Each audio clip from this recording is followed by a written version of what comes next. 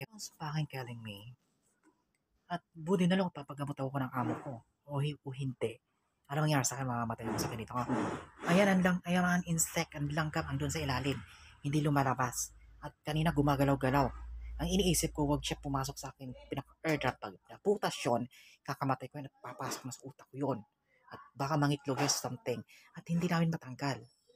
Wala akong pera pang pa-hospital. Or something. You can something bad to me. Pag ako napunta sa hospital, President of the Philippines, papatawag kita sa doktor or something. Wala akong mabayad sa hospital, yun, magbabayad sa akin yung gobyerno. Pag yan lumala na maga at pumasok sa akin utak ng langgam na yan, hmm, matakot ka na. Because this is happening. Itutuloy ko talaga ang World War III. Pasabugin ng Philippines ng China, ng nuclear war at ng Korea. Yung something, hindi mo ba alam pag ako namatay dito at na-destroy sa bansa na to, world international country destroy and collapse because me as important people in the world. You know what? I don't fucking shit about hard working. Ayoko maging maid. Ayoko ng katulong at utos-utusan lang ng mga Pilipino para makuha ng gusto nila. Who you are about this, Jesus Christ? And well, what happened this country? Is mga ganitong position or something insane. It's not. Because you, I can't. Hindi ako kriminal para mamatay sa ganito. Kayo ang mamatay sa ganito. You know, fucking shit Philippines. Is something wrong. Napakarami pa namang hospital at tao ngayon sa hospital. Kasi inaabangan namin kung mangyari lalabas ba siya o hindi kasi nalagyan siya ng lason. Something ba kainin ang aking airdrum, pumasok sa aking mind, something that. Yung langgam na pumasok sa akin, yung langgam na yung kumagapang sa nature, yung parang anay, something mataba or brown na langgam to insect.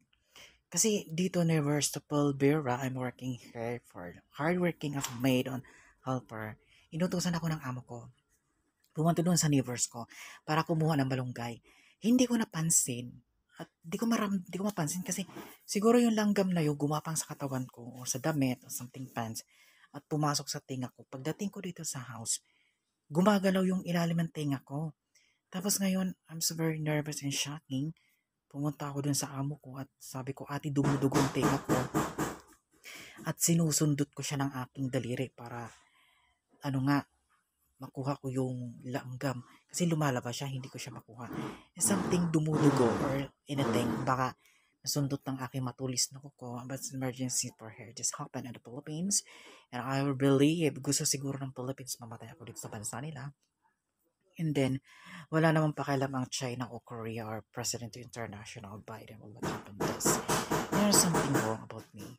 Very killing me. May pumasok sa akin tinga na langgam. Kasi kumuha ako ng malunggay sa labas. Tapos, daming dugo. This is very bad. Dumudugo yung tinga ko kasi ang lagam nasa loob ng tinga ko. Ah, it's very killing me. May pumasok sa akin tinga na langgam. Kasi kumuha ako ng malunggay sa labas. Tapos, daming dugo. This is very bad. Dumudugo yung tinga ko kasi ang lagam nasa loob ng tinga ko. Ah, kita niyo yan? Puro dugo na siya. May nakuha kong langgam, isa. Ayan o. Oh. Parang langgam na pula. Hindi ko alam kung nanay itong pumasok ko. Ano eh. Ah.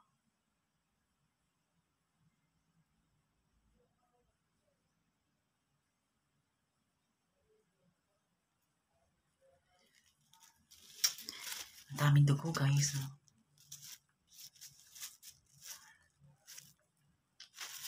Ay! Oh my God! Labas, tingnan mabuti. Kanina gumagalaw talaga siya.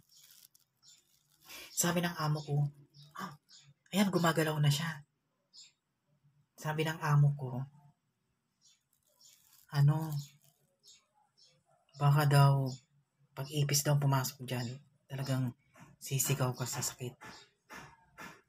Hindi pa naman pumapasok siya sa brain ko at saka sa aking ano, gumagalaw pa lang siya. Binuhusan siya panlason. Ouch! Gumagalaw na. Pumasok sa akin tingang langgam kasi kumuha ako ng malunggay sa nito. Ayan siya dumudugo. At linalagyan siya na ng ano, ng gamot. At hindi pa lumalabas yung langgam. Di ko alam kung ano langgam. Ayan oh. Ako, mamatay na ako dito. Diyos ko. Ayan, dumudugong aking finger. Hindi ko kung anong langgam kasi kumuha ako ng malunggay. Ilalagay sa ano, sa tinola. Diyan sa labas kasi may gubat dyan. At hindi ko napansin pag uwi ko ng bahay, gumagalaw na lang siya. At linagyan ng amo ko ng lason. Ako. Delikado daw pag ipis ang pumasok kasi mamamatay ka talaga. At saka kanina nagsisigaw talaga ako kasi gumagalaw siya. Parang pili ko mamamatay na ako. Sabi ko, ah, Jesus Christ help me. I can't this evil animals. Ayan siya guys. Di ko pa ma... Maya papakita ko sa inyo kung paano mangyayari kung lalabas ang langgam. Kaya rin-report ko ngayon. Is very killing me. May pumasok sa akin tinga na langgam. Kasi kumuha ako ng malunggay sa labas. Tapos, daming dugo. Look at that. Dumudugo yung tinga ko kasi ang langgam nasa loob ng tinga.